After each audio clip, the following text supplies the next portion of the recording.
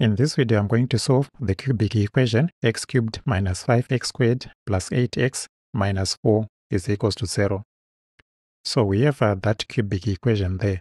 To find its uh, solutions, what I'll do is I'll try to find one solution by trial and error. So for trial and error, I'll be looking at uh, values of x, which are 0, plus or minus 1, plus or minus 2, plus or minus 3, and so on we try to substitute them into this equation and see if they satisfy that equation. So if you start with the first one, x equals to 0, we would be having 0 minus 5 times 0 plus 8 times 0 minus 4, which gives us a minus 4, of which is not satisfying that equation there because it should be giving us a 0. If we try x equals to 1, put x equals to 1 into this equation here, then we'd have 1 minus 5 times 1 plus 8 times 1 minus 4, of which uh, that gives us 1 minus 5 plus 8 minus 4, which gives us a 0. So we are having there the x minus 1 is a solution of that cubic equation.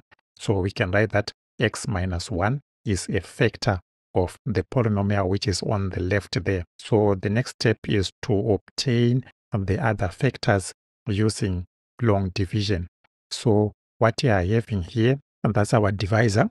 So I write the division sign there, and under that uh, sign, I put in the dividend, which is uh, the polynomial x cubed minus 5x squared plus 8x minus 4. So the next step is to look at uh, the highest power of uh, the divisor, that's an x, the highest power of the dividend, that's an x cubed. So what we do is we divide that highest power x cubed by the highest power in the divisor here in x. So it will be x cubed divided by x, which gives us an x squared. So it will be part of the quotient, which we'll write on top there as x squared.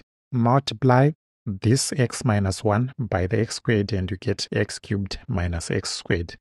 Subtract this from the expression above there and what we would have there is minus 4x squared plus 8x minus 4. Now looking at this expression that we are now having, the leading term there, the one with the highest power is minus 4x squared. We divide it by the x in the divisor there. So having minus 4x squared divided by x, it gives us minus 4x. Then multiply the 4x by this x minus 1 and you get minus 4x squared plus 4x. Then subtract from above, then you get 4x minus 4. Now the leading term now there is a 4x. Divide it by the x there and you get a 4. So write plus 4. Then multiply the 4 by the x minus 1 and we get 4x minus 4. Then subtract from above and we get a 0. So we are done with our division. So what we are having there is this is the quotient. What it is saying there is when we multiply this x minus 1 by this quotient here, what you get is this expression here, the x cubed minus 5x squared plus 8x minus 4.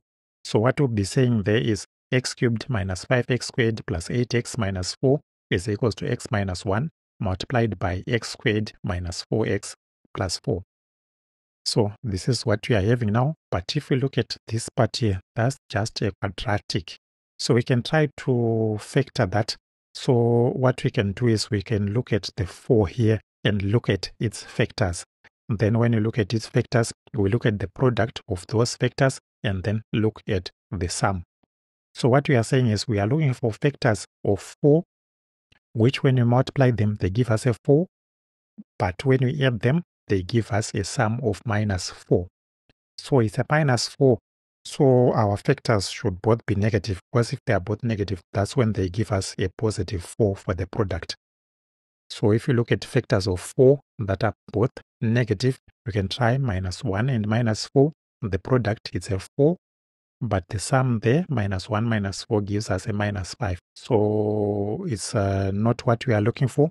But if we try factors minus 2 and minus 2, the product there gives us a 4. The sum is minus 2 minus 2, which gives us a minus 4, which is what we are looking for there. So the factors that we would have for this highlighted part is x minus 2 multiplied by x minus 2. So our expression there is x minus 1 multiplied by x minus 2 multiplied by x minus 2. So that's the expression that we are having.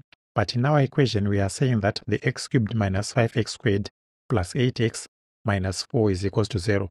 So this expression here is equals to 0. So we have x minus 1 multiplied by x minus 2 multiplied by x minus 2 is equals to 0. So for us to obtain a 0, that means uh, these parts on the left hand side are 0. So we'll be having x minus 1 equals to 0, x minus 2 equals to 0, or x minus 2 equals to 0, which will give us x is equals to 1 or x is equals to 2. The x equals to 2 is a repeated root, so it's x equals to 2 twice. So that's the solution there of the cubic x equals to 1 and x equals to 2 twice. It's a repeated root.